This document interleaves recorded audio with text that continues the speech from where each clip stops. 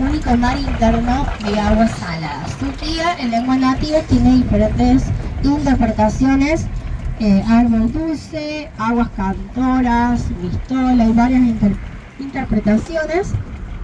Y en torno aquí eh, tenemos el, a mano izquierda el centro cívico, donde van a ver los puentes gemelos, los puentes del Bicentenario, van a ver el, eh, el panel, que es la casa de gobierno, que es la construcción de hormigón con perforaciones geométricas que asemejan a una colmena de abejas, por eso el cordobés la llamó de esta manera, el panel.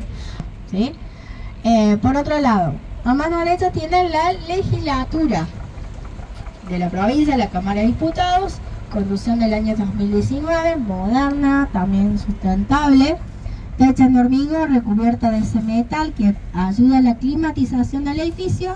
En el techo, lo vamos a poder ver fácilmente, hay una abertura cenital que permite el acceso y la luz natural directamente a la sala eh, de diputados, así también como en la casa de gobierno, van a ver esas perforaciones del edificio.